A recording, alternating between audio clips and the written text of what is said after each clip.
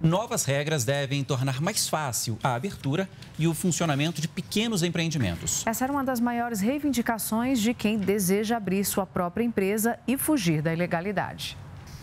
São 40 anos de profissão. Hoje, Rick trabalha como MEI, microempreendedor individual.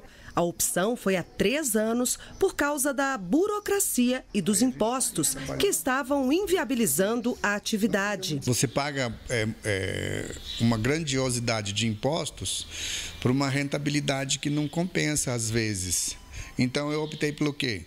Vou trabalhar sozinho, vou trabalhar para mim. Novas regras devem desburocratizar a abertura e o funcionamento de negócios no Brasil. A mudança deve valer para 287 atividades definidas como de baixo risco.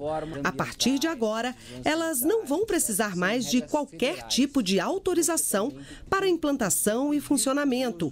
E isso inclui licenças e autorizações. Em linhas gerais, é retirar um pouco o peso da burocracia, da, do excesso de regulamentação dos pequenos e médios empreendedores para tornar o Brasil um ambiente melhor para empreender.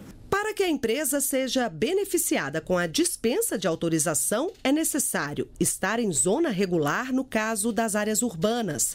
Se o negócio funcionar na casa do proprietário, não pode ter grande circulação de pessoas, nem ter natureza digital. Mas atenção, essa classificação de baixo risco não retira a obrigação dos empreendedores de tirar o CNPJ, Cadastro Nacional de Pessoas Jurídicas e outros registros tributários, como inscrições municipais e estaduais. O grande avanço dessa medida provisória é que ela tira o foco do Estado das atividades de baixo risco, aquelas atividades que não oferecem risco à sociedade.